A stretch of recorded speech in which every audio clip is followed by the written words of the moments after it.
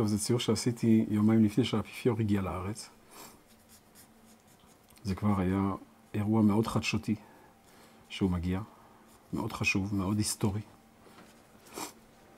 אז הרעיון שהיה לי, שבא לי כאינסייט כזה, זה לצייר את האפיפיור מטביע את אה, כפות הידיים שלו באיזה בלטה ממלט מול הכותל, כמו סאנסט בולבר, ולקרוא לזה דולורוזה בולבר.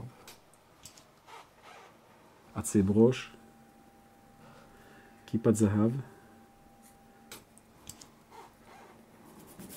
אני מוחק את העיפרון. אגב, אני לא חייב. עשיתי אותו מאוד, מאוד חלש. אני גם הייתי יכול להשאיר אותו, זה לא היה מפריע.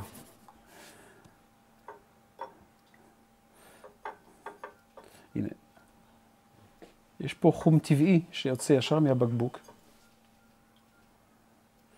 אני יכול להשתמש בו כמו שהוא. בניתי אותו, עכשיו אני צובע אותו. אני הולך מסביב לאפיפיור, מסביב לגלימה שלו.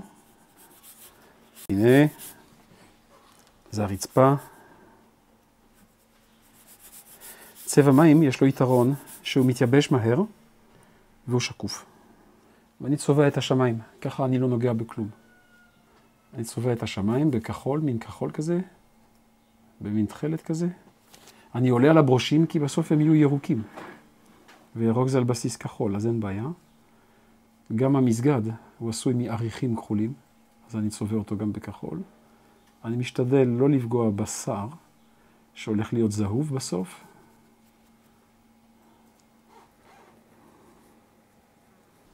צהוב זהוב למצנפת. אגב, אה, אה, השם אה,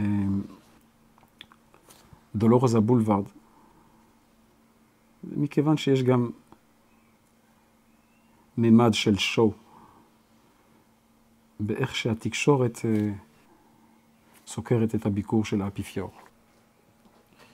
אני טיפה מקהה את הטביעות ידיים של קודמיו, שיראו שיש שם דבר מוטבע בתוך לבנת מדרכה.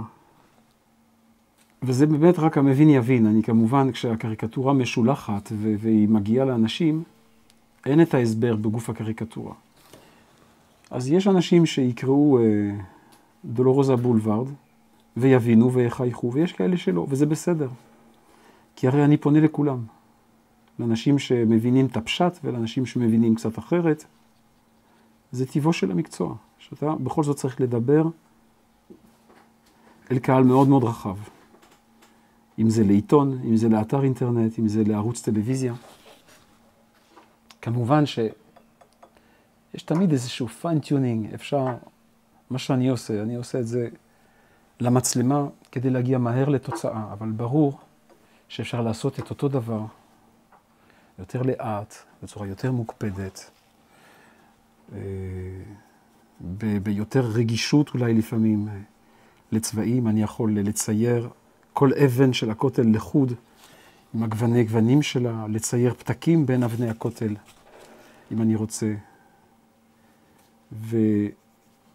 וצלפים שצומחים שם, ואיזה יונת שלום שרובצת שם, יש פה אין ספור אפשרויות.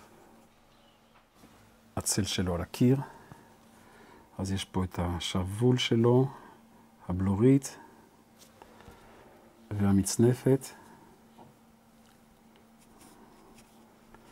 ננסה לעשות את זה מהר.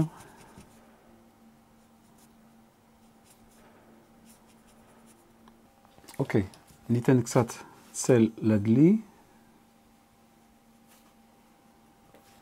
קצת צל לשלט.